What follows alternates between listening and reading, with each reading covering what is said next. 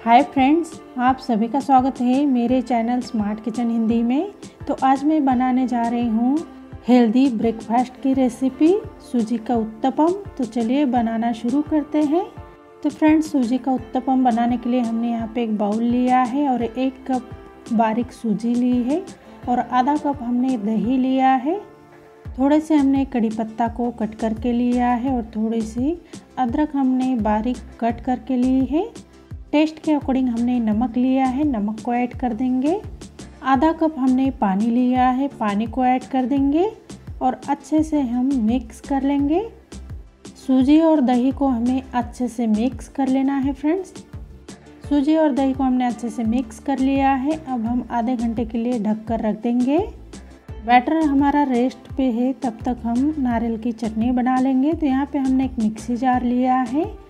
और एक कटोरी हमने फ्रेश नारियल लिया है। नारियल को हमने छोटे टुकड़ों में कट कर लिया है। नारियल को हमने ऐड कर दिया है।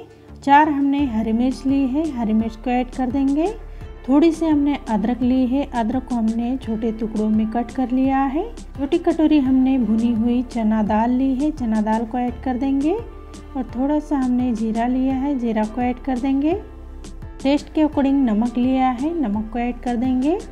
और थोड़ा सा हमने पानी लिया है, पानी को भी हम ऐड कर देंगे। अब हमें मिक्सी में ग्राइंड कर लेना है तो हमें थोड़ा दरदरा सा ग्राइंड कर लेना है, बारीक ग्राइंड नहीं करना है। तो यहाँ पे हमने ग्राइंड कर लिया है, अब हम चटनी के ऊपर तड़का लगा लेंगे। तो यहाँ पे हमने एक चम्मच ऑयल लिया है, थोड़े से हमने सरसों लिए हैं। दो हमने सूखी हुई लाल मिर्च ली है और थोड़े से हमने कड़ी पत्ता लिया है। तो अब हमें अच्छे से मिक्स कर लेना है और चटनी के ऊपर तड़का डाल देना है और अच्छे से मिक्स कर लेंगे।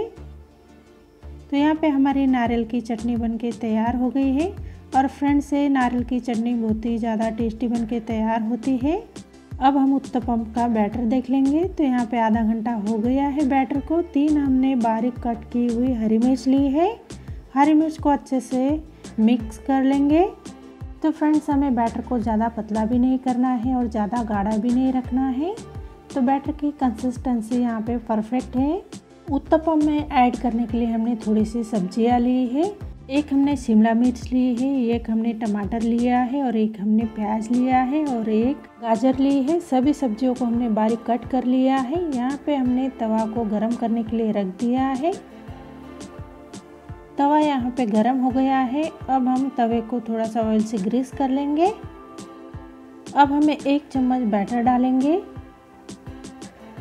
और हमें बैटर को ज़्यादा फैलाना नहीं है फ्रेंड्स थोड़ा सा हमें उत्तपम को मोटा ही रखना है।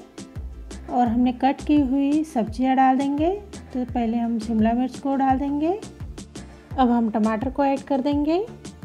तो फ्रेंड्स हमें सब्जियों को फटाफट से डाल देना है। बैटर ऊपर से ड्राई होने लगता है तो सब्ज़ियाँ इस पर चिपकती नहीं है।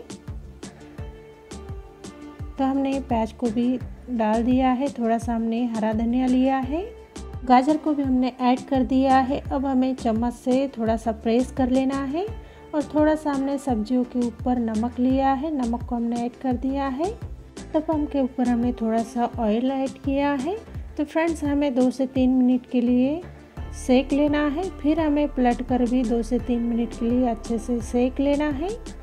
तो फ्रेंड्स, उत्तपम हमारा अच्छे से पक गया है। अब हम निकाल लेंगे और दूसरी बैच हम बना लेंगे। एक चम्मच भर हम बैटर डाल देंगे। तो बैटर को हमें थोड़ा सा फैलाना है, ज़्यादा हमें फैलाना नहीं है। तो फ्रेंड्स, अब हम प्याज को डाल देंगे और यहाँ पे हम शिमला मिर्च को डाल देंगे। और थोड़े से हमने टमाटर लिए हैं और थोड़ी सी हमने गाजर ली है। सब्जियों को हमें अच्छे से प्रेस कर लेना है और थोड़ा सा हम नमक डाल देंगे सब्जियों के ऊपर ताकि फ्रेंड्स सब्ज़ियाँ यहाँ पे फीकी नहीं लगे, इसलिए हम थोड़ा सा इस पर नमक डाल देंगे। फ्रेंड्स, आप चाहे तो इस पर चाट मसाला भी ऐड कर सकते हो। तो फ्रेंड्स, हमारा दूसरा उत्तपम भी बन के तैयार हो गया है और देखिए, एकदम अच्छे से पक गया है। तो फ्रेंड्स ये खाने में बहुत ही ज़्यादा टेस्टी होते हैं। आप बच्चों के टिफ़िन के लिए भी दे सकते हो और एकदम सॉफ्ट बन के तैयार हुए हैं। फ्रेंड्स अगर आपको मेरी रेसिपी अच्छी लगे तो वीडियो को लाइक और चैनल को सब्सक्राइब करें और बेल आइकन को प्रेस करना ना भूलें।